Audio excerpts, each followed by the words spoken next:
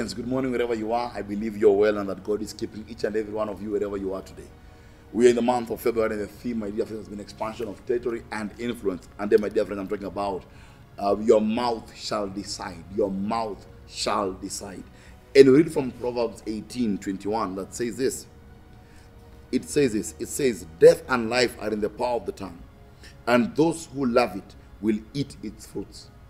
In other words, we have to be very conscious. Those of you who come to the fellowship heard me saying this very many times. We have to be very conscious of whatever we talk about.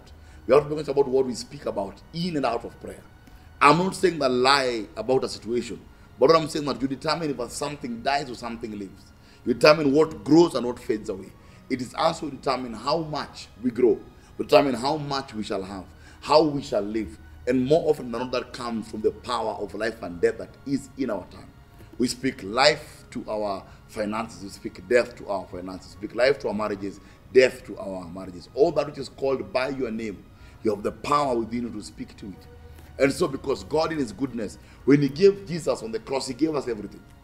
So, the measure of how we live our lives and the quality of how we live our lives is when our mouth and our belief is in line with what God has set for us. The Bible says in another scripture that from the abyss of the heart, the mouth shall speak.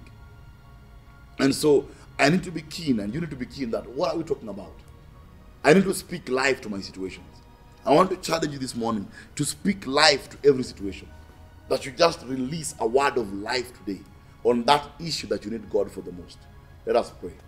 Father, I thank and I bless and I lift and I glorify Almighty God. You are wonderful and powerful and kind and you reign. I pray, Father, today in the name of Jesus. By the power that rose Christ from the dead, Lord, may you minister to your children today, Lord. May you give us the wisdom to speak life from our tongues. Give us the wisdom to speak life from our mouths. Give us wisdom, Lord, to declare life, Almighty Father. And Lord, that we may be able to live a life of abundance, expansion, and increase. May the Holy Ghost remind us every time the Lord we are speaking death in things that should not be spoken death to.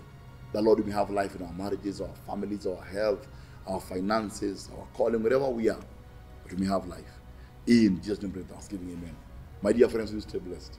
See you again next time, same time.